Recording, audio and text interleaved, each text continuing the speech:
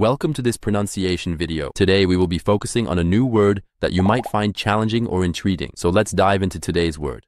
Chagrinant, which means, causing embarrassment or distress, provoking a feeling of unease.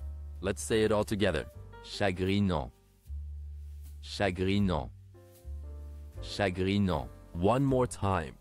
Chagrinant. Chagrinant. Chagrinant. Thank you for joining us on this adventure in pronunciation. Remember, language is a journey, not a destination. Keep exploring, experimenting, and expanding your linguistic horizons. We'll see you next time.